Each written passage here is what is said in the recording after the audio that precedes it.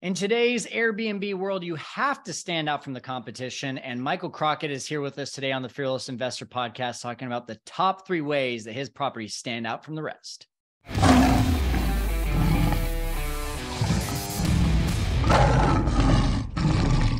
Hey everyone, welcome into the Fearless Investor Podcast. You're listening to me, Kyle Stanley, and this is uh, a long overdue podcast for me. Michael Crockett has been a friend of mine for a long time.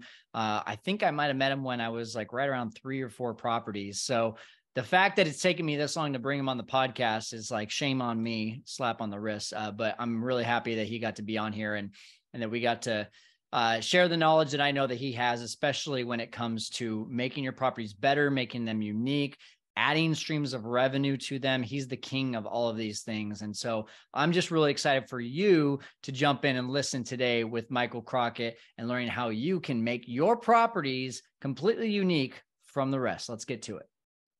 Hey, welcome into the Fearless Investor Podcast. And uh, today is a very special guest because Michael Crockett and I go back. And uh, it's been, man, like I feel like you were one of the first hosts I actually really connected with when I started my short term rental journey. I think you were like one of the first uh, members of Airbnb masterminds, if I'm correct. I think you were like one of the one of the first like 10 or 15, and now we're at 150,000 strong. So like you're one of the the OGs, bro. Yeah, I feel like an OG, man. I don't know if that's a good thing or bad. yeah, yeah, I've definitely been uh, loving the value in the group. So I've been a member for a long time. Yeah. Awesome. Awesome. Well, uh, Mike, excited to have you on here today. We're going to be talking about how to make your property stand out from the rest.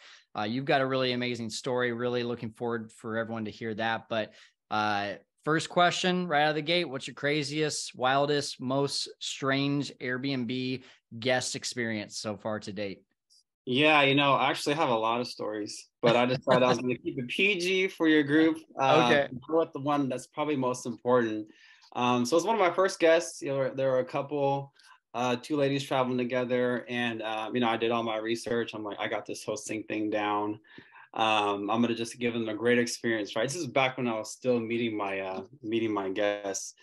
Anyways, they checked in, and you know, no less than ten minutes later, they're like, "Oh, we miss, we're missing this, we're missing hand soap, we're missing the coffee, we're missing paper towels," and I'm like, "Oh my god, how could I forget all that basic stuff?" Right? So, um, anyway, long story short, um, you know, I missed probably like five or six things that I should have had in the house. And I was, I went over there to check them out and say, you know what, I apologize, you know, for the experience and uh, I just want I knew I knew it was going to be a bad conversation, right? Because I missed so many marks on their trip. But uh, they opened the door and there were big smiles. They were super happy. They loved the experience. They loved the house, and they actually wanted to buy a piece of artwork off of my wall. Nice. And so that's kind of how my business was born. I was like, I, was, I had an aha moment. I'm like, not only did I underestimate, you know, expectations of these guests, but um, they gave me a brilliant, really good idea. So that's awesome. One best, one of my best stories. And, and, I know that's part of your niche today. In fact, uh, Art House B and B is that the name of your your company? Yeah, Art House Art House AVB. That's the name of my company. Of man, it's been five and a half years um, building this company. That's the OG part that I was talking about before. uh, it's been a fun ride. Yep. Nice. Uh, give everyone just a real quick overview of your portfolio in short-term rentals. Um, you're based out of Sacramento. Um, yep. Co-hosting, owning, arbitrage. Uh, give give us kind of the breakdown here. Yep. So I'm based in Sacramento, California. Have been since I started. Uh, we are a portfolio of 31 listings now, active short-term rentals and mid-term rentals in Sacramento. And um, gosh, I own two of them. The rest are a combination of arbitrage, which is basically you know renting long-term and then re-renting as a short-term rental, and then a big bulk are co-hosting, so managed deals. That's awesome. Eh, I think when you and I met, you probably were around like 10 or 12, right around there. I think it was less than that. You yeah. know, I was I thought it was big. I was a big shot coming here with my. Uh, I think it was like maybe eight or nine. And uh, little did I know I had a lot still to learn. But um, yeah, like I said, it's been a fun, fun ride growing the portfolio. Well, and I usually don't jump into your your growth model right out right away. I, I want to get to know your story, but I do just since we're on the topic, like what led to What what's the the biggest contributing factor for the last call it three years of going from less than 10 to now 31? Yeah, I think it's just been, uh, you know, me realizing my my drive to succeed. Um, you know, you you Kyle know more than anyone.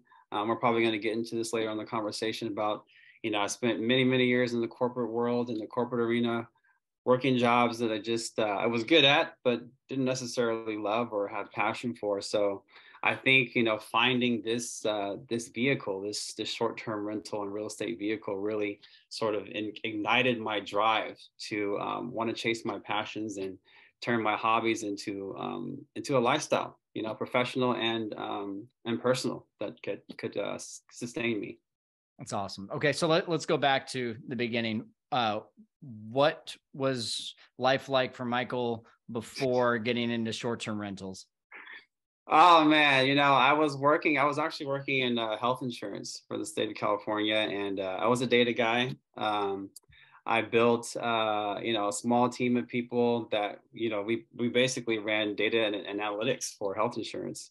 Um, I, I, learned a lot about leadership in that role, um, but I also learned that it wasn't just something that I found exciting. You know, I was working 40, 50, 60 hours as a manager. I got to, you know, I climbed the ranks over eight years and uh, became like a senior manager built a team and then i was working just a lot and i just didn't realize you know to what end am i working you know i'm not feeling any joy out of this i'm good at it right i am i'm learning a lot about myself as as a leader but it's not really fulfilling a certain part of me um, so i was just stuck you know for a, for a while just working that job because i knew you know you're supposed to get a job and make good money and keep working um, and there was always this thing, this entrepreneurial spirit that I was ignoring because, you know, I didn't want to be poor. I didn't want to be broke.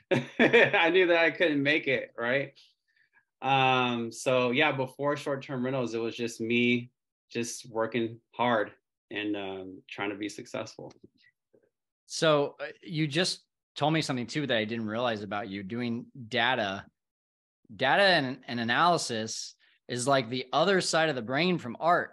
Like what? You're using exactly. both sides of your brain? exactly, man. I was I was really trying to infuse some creativity into my analytical work. And uh, I had these small wins along the way, you know, little little pieces of me, I say, that I could interject into the work. But by no means was it as messy or sloppy as I wanted to be as an artist and a creator. So I just kind of, you know, having that job and working all those hours, unfortunately, it, it, it taught me to suppress that that that hunger that that want to do something mm. creative um, so it was a really tough place uh, for me to be in for quite a while and uh, that's just why I, I, was so accept, so excited to have um, opportunity to find um, you know Airbnb and short-term rentals. It was just it was literally aha moment, honestly. What did that aha moment look like? Well, you know, um, you know, outside of working um, so many hours and you know trying to make it, I also love to travel, right? Traveling was also like a form of escape for me. Mm. And um, every time I traveled, I'd use Airbnb because, hello, it's just like tons of cool places that you can pick that are different from a hotel experience, right? Unique things that not everyone gets to experience. So I always used Airbnb as a traveler. Um, so I was gone, you know, many weeks uh, throughout the year just on vacation. And I thought, you know, one, one, one trip I think I was in Mexico, I was like, you know, I'm paying this mortgage on this house and I'm kind of like not there all the time. Mm-hmm. It's just empty, an empty box and no one's staying there and they can. I w- I wouldn't mind it. So I was like, why don't I just try being this like a host? You know, I was like, let me just try to make some extra income and supplement my mortgage when I'm not there. Um, so that was kind of the first, you know, uh, aha moment. I was like, I'm going to try this thing. And I, I knew that I was going to do something a little bit different, right? Because my yeah. house my house was full of my artwork. Uh, I'm a painter, you know, for those that don't know, I'm an artist, have been my whole life. Tried to run away from it several times because I didn't want to be poor. And then I always came back to it. Uh, so my house literally is full of my own paintings. So I just knew that, you know, maybe people like that. You know, they want to stay in a place that looks like they want to stay in an artist's house. Um, so I tried it and lo and behold, you know, people loved it. That's cool, man. So did you did you feel like uh, you you said this this thing about feeling like you were suppressing your creative side? Did you feel like this was your opportunity to finally like separate the analytical side and the creative side and just put your heart and soul into something? I absolutely knew it was. Yeah. And I knew it because of the way I felt, right? There's nothing more honest than your your emotions and your feelings. And as soon as I was all the excitement that I built up getting ready for that first guest, right? I did. I, I didn't have the luxury of having you know access to a core. I didn't even know you then, Kyle. I think I only know you from maybe your random YouTube video. I was watching everyone's YouTube videos. I'm like, if I'm gonna do this thing, I'm gonna do it the right way, um, and I'm gonna get as much free information as I can as possible. so, so I was a YouTube monster. You know, the analytics side of me, I just went in in research mode, and I harvested as much information and data as I could and I tried to set myself up the right way um, when I first started. And I was so excited, and I I was just feeding that emotion, that feeling. Um, so I knew it was going to be something like at least fun that I could do. That was going to be a creative outlet for me, and make me some some money. Awesome. So br- break down that first one for us. Did you start it thinking like I'm going to infuse art into this, or did you think no, I'm going to just get something up on Airbnb. And then that idea came a little bit later. And also just, you know, like what was some of the results of that first property too, that made you think like, okay, yeah, this, this is a thing this, I'm going to do this. Yeah. So great questions, man. Um, you know what? I, like I said, my house, I lived there. So everything that I worked on and painted, I just had it on the walls. I put it up for display, right? Because I, I knew that people who use Airbnb, that me myself using Airbnb, I liked going to unique places. And so I knew that my place was unique, right? Because I just, I'm a creative person. So it looks mm-hmm. like a creative person lives there. Um, and I just really went into this thinking that I would offer people a creative place to stay. Um, you know, not knowing about other other things that I learned about, which is, you know, adding additional revenue streams and people wanted to buy the stuff in there. I had no idea.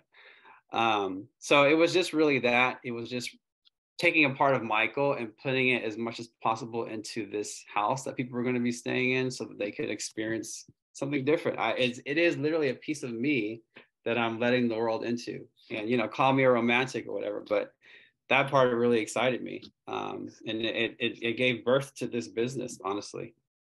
That's awesome, man. Um, so you, you start hosting guests at this place. Walk me through like where it became something that was just helping to pay for the mortgage to then like okay this could be potentially a business. Yeah so so i launched my first uh my first airbnb in 2017 right? And um like i said i, I had actually had a, a trip planned. I said i'm going to launch it at this date because i'm not, going to be here uh, for a couple days. I'm just going to test the waters right? I'm just going to test to see how it is. So i threw my house up on uh, airbnb and I think the first moment where I realized I was going to make more than what I was trying to do, which was supplement my mortgage, was after like the seventh booking in like just two, two or three days. And I'm like, oh crap, like this, this is going to be a thing, right? People are going to want to stay here. Cause I had, uh, I had opened up my calendar for the future just, just to see, you know, what kind of traction I would get. Yeah. And people just were booking and booking and booking. And you know that feeling, I can't describe the first feeling when you get that first booking. Oh, it's... That's been so many bookings ago, but it was like, oh my God, like it's go time, right? It's like, and it was just me at that point. It's, so it's, it's like, an addicting feeling. It is, it supercharges you, man. It, yeah. it's, it's, it's hard to describe it. But um, I knew then after the bookings just kept coming that this was going to be something that um, was going to be larger than just a hobby and especially because of the way I felt. Like I said, it all goes back to the to the emotional thing. I was just so excited about it. So what was that next step for you then? You you say, okay, this is something that I'm gonna start making a lot of money with. You own that first one, but you just told us that you you only own two of your 31 right now. So what was that next step? Yeah, so uh, let me go back a little bit. So when those bookings were coming in, I was still living at the house, right? Yeah. So I would go stay at a friend's house and people were there.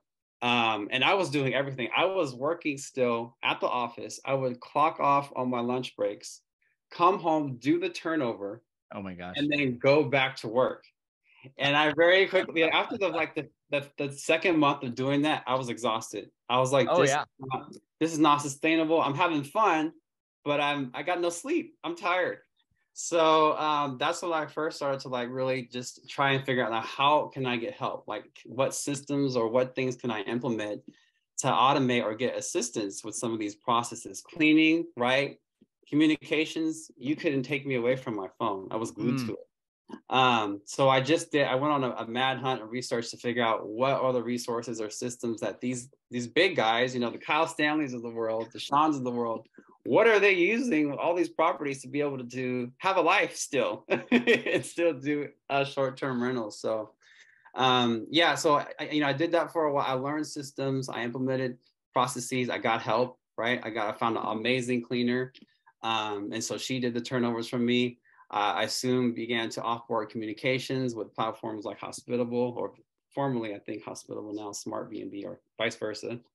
Um, and then after after I started to remove myself from some of those day-to-day operational things, then I could have the headspace to understand, okay, what is my next step to grow this. Obviously, yeah. I'm not stopping, right? I'm making great money. My mortgage is paid and I got lunch money for work, right? Yeah. Um, I just need more properties, right? So I think after that first initial bout of research to get myself ready and launch, I went to another bout of research to find out how people were acquiring so many properties. And that's kind of where I discovered um, the concept of arbitrage and uh, and co-hosting.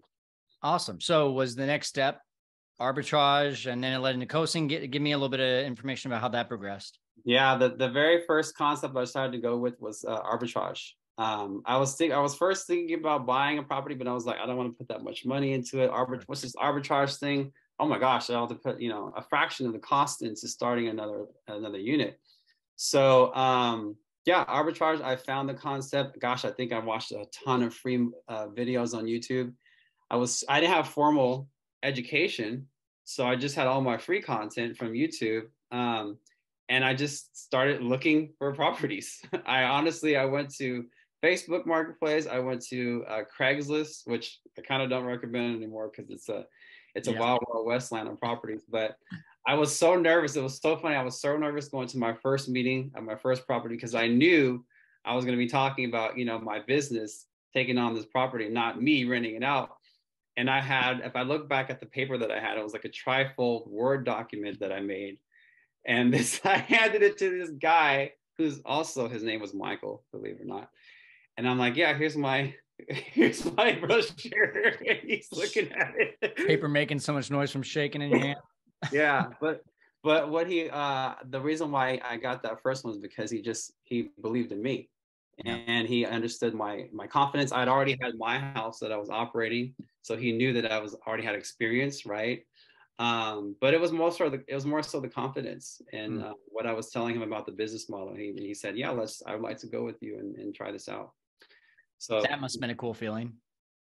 It was amazing. It was uh, it was validation that i was doing something right which you know a lot of times the universe will tell you that you're doing something wrong um, so it was just, uh, yeah, it was just amazing, serious confidence boost. And I just took that into my next ones.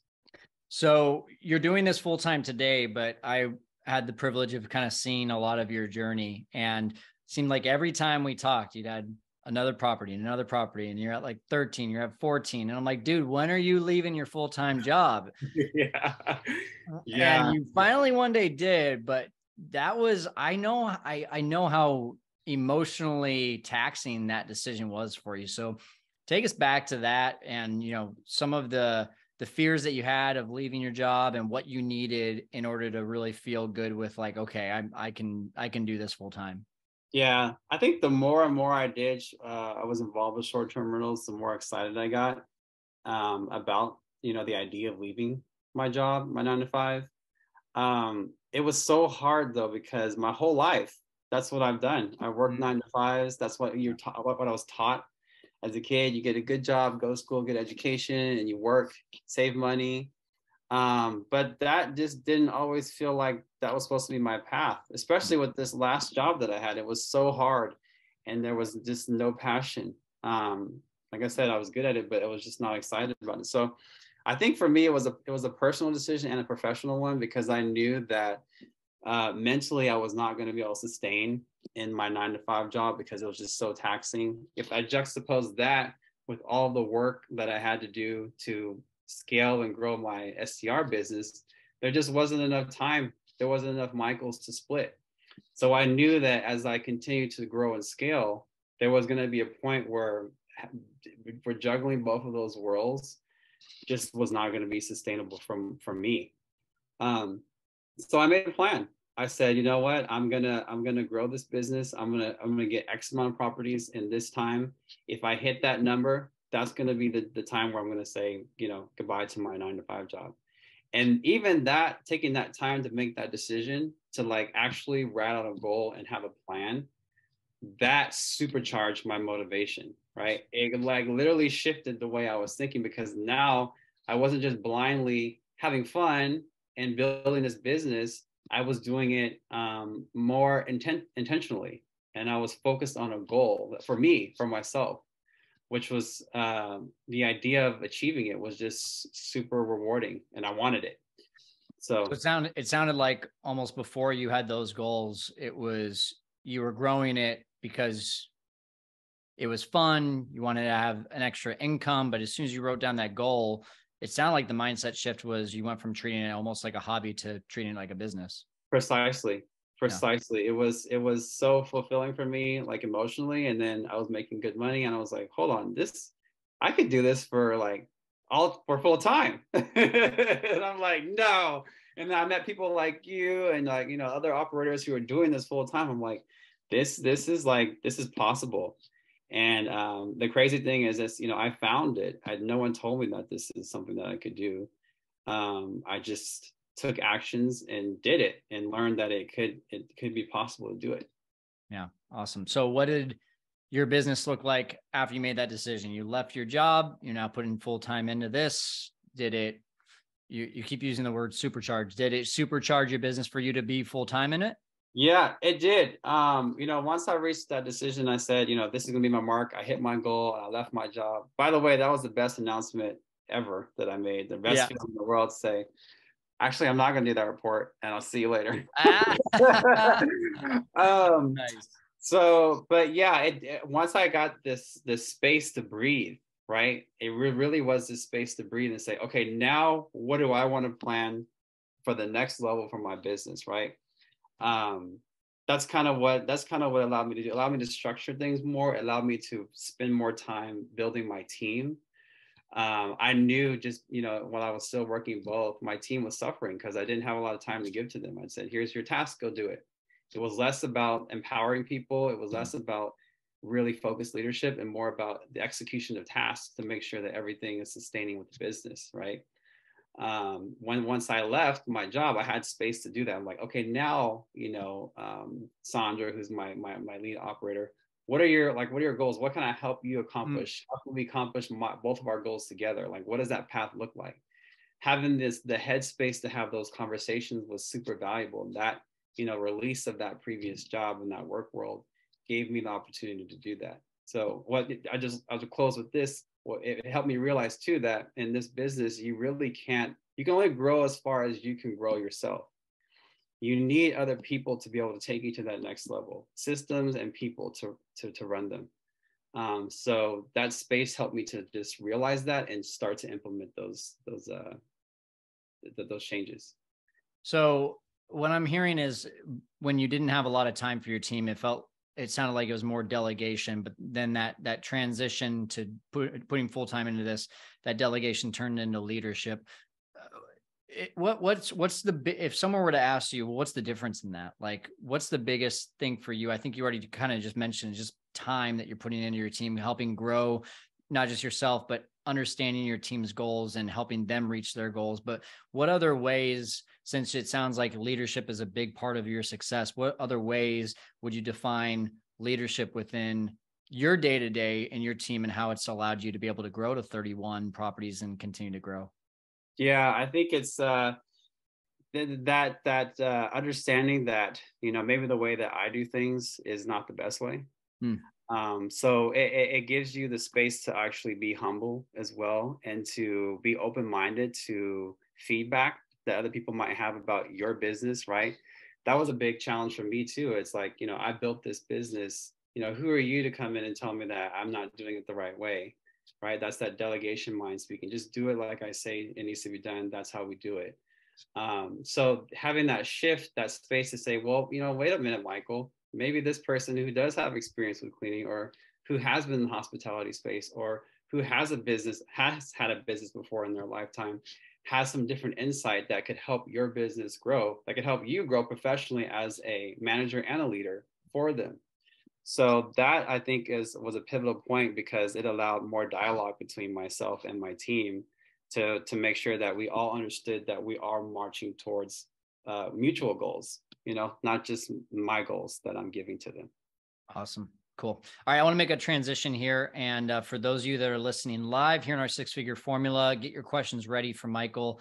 Um, and those of you that are listening on the recording, whether it's YouTube or the podcast, uh, you know, throw your comments down and obviously check into the six figure formula so you can have access to people like Michael at fearlesskyle.com forward slash six FF. But uh, Michael, I, have you know, we've gone to Cabo or not Cabo, we're going to Cabo, I think this year. Uh, we've gone to Breckenridge together. You've come to my house. We've, we've spent a lot of time with each other. And so I really, um, you were, I was blessed to have you as one of our coaches when we were doing, you know, a lot of the group coaching. And one of the big things that I know that you were really, really good at is not just saying, Hey, put art in your house and it'll do well. It's, it's all those extra streams of income. And it's also the things that make your house stand out from the rest. Like I can pull up a, a Michael Crockett property versus like anyone else in town and know the difference because it's, it's hitting you right in the face like it's obviously different you you do a lot of things you put a lot of time and attention you you make it your own which i really like um so when we talk about you know today's topic of the three ways to make your property stand out from the competition what are the let, us start with just number one what what's the top way that you think your property stand out and that's duplicatable for people that are listening right now yeah, so top thing to make your property stand out, um, especially in the Airbnb arena, is just really to offer unique, right, interesting services, goods, or experiences, right? As a traveler, when I first started using Airbnb, that's what I looked for as a, as a guest. I am my own avatar. I wanted somewhere that a hotel was not going to offer something different, unique, um, that just looked cool, right? Um, so that is a big way to set yourself apart. Just if there's something that you do well that maybe someone else doesn't know about, maybe you're a crafter, maybe you're an artist like me, um, you know, maybe you're a carpenter or something like that, or you do woodwork, showcase that, right? Because not everyone has your talents and your skills.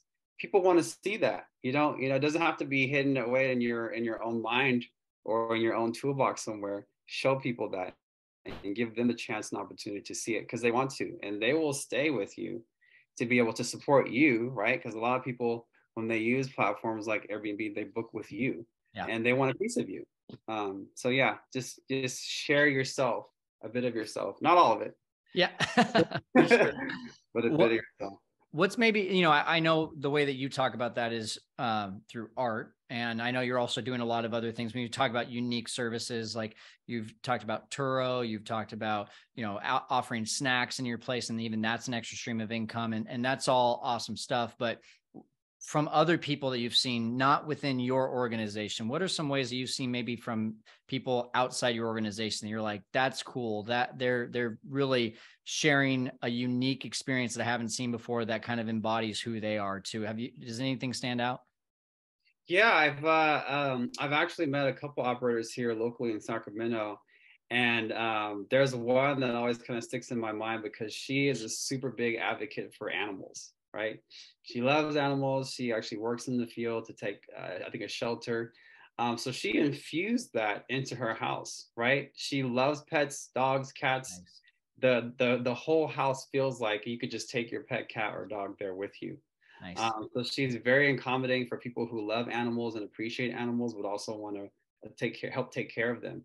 So her house, her entire house is themed um, to support animals, and I think people also they love staying there because they feel like you know they're supporting a mission right they're they're also feeling like they are um, they're just able to take advantage of an experience that not everyone else can um, so her house is eh, not something that probably I would design. Yeah, but it's uh, it's I think it's just cool, and the people that have stayed with her, they love it.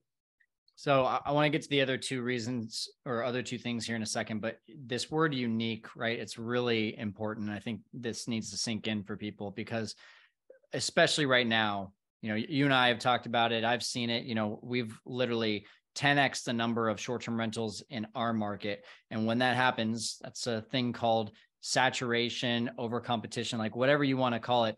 I, I think this idea of unique becomes so much more important today than it did even just a year ago, right? Um, so what what has it done for your properties to to be unique? And maybe do you have any in your portfolio that you because you're co-hosting you try to convince the owner hey i really want to go unique they didn't do it and now you can compare and see that it's not working as well. Can you speak to that at all? Yeah so um, you, you hit it right on the bot on the button. Um, you know uniqueness is going to help drive people to success through this whatever we're going through um, no longer the days where you're just throwing a you know a house with a bed and a blanket on it and you know going to be getting outrageous bookings. You got to do something that not everyone is doing on the same path right? Um, so for us you know our my properties each of each one of them i feel like i have touched in some way right? Just to separate it apart from the competition. What that does is you establish quite a bit of loyalty with your avatar with your guests they recognize that you are offering something that is kind of true to a brand, right? Not just the Airbnb brand, but something, a niche that you've carved out for yourself. Mm. And they want to not necessarily honor that, but they want to support it, right? People who come to our places come back again and again and again because they know that, first of all, not every art house is different, right? There's different art in each one of them. So that's that in itself is exciting. Um, but also, of course, they have the opportunity to take something home with them, especially around the holidays. People love that. Um, it's just a different, you know, kind of atmosphere to be in. And um, people also know that I'm an artist, right? My face is on all the uh, all the listings. Um, they know that we work with artists in the community, and so just by booking with us, they feel like they're supporting art. Who doesn't want to support artists and creative people, right? So it's not that they're booking with Airbnb, they're booking with you and your yeah. uniqueness, whatever your talent is, which is super important. Um, there's money to be made in the niche, so people need to get there and, and celebrate it with their with their guests. They'll pay you for it. And I wasn't planning on doing this, but you know what? I got to show you guys when you talk about an artist, this piece of art right here take a look at that every day every day i wake up and i see i see this guy as soon as i walk into my office mike mike made that for me a little fearless investor uh what do you what do you call that abstract art what would you abstract. call that Abstract. Yeah, I you know, Kyle, when you invited me to your house, I don't go to anyone's house uh, empty-handed. So I was like, I'm gonna, I'm gonna take this guy something cool, right? So I'm glad that you like it. Uh, it's up you're the man. You're the man. Well, um, two more things. We've already talked about one good services um, and something that's unique. What what are some other things that are helping you stand out from the rest? Yeah, you know, we're really big on um, you know, kind of uh, allowing customers or allowing our guests to customize their stay. Mm. Um, so what I mean by that is, you know, we offer things that maybe not all other hosts are offering. So early check-ins, right? If people, I, you know, every time I travel, I can never get the flights right with when I'm supposed to check in. I'm always sitting around somewhere, and so I realize that every time I'm traveling, man, these early check-ins, they're really valuable. Um, so we offer that. I offer that to my guests, uh, as well as late checkouts. You know, you come into a new to a new place, you're partying a lot. Maybe you want to sleep an extra hour or two. Yep, we offer that as well luggage drop offs you know if you're coming early into town and you don't want to carry your luggage everywhere you can drop it off at the listing right? And we'll, we keep it on hand for you. Um, and same thing with pets you know everyone loves their fur babies. Um, and but for some reason not all hosts like to host them but we do. Um, and we let guests know that, that yes if you have animals then let us know what they are and you can bring them. Um, so those types of things just allowing people to have that customization flexibility. yeah um, has helped to keep us apart. Um, that's that's so huge, especially the the pet part. I mean, you go to any market, and I feel like the majority that you look at the listings, you scroll down to their house rules, and no pets allowed. And so, if you're allowing pets, you're automatically putting yourself in like the top five to ten percent of listings in terms of availability for pets. And you know, um, does it have some negative connotations too? You know, especially if I've got allergies and I want to make sure that this one's no pets. Yeah, sure. But I feel like you attract more of a niche uh, when you actually allow for pets than than when you don't. Um, so, Mike, sec- the second one then is customized stays. What's that third one? What's the the third top way that you're helping your properties to stand out from the rest?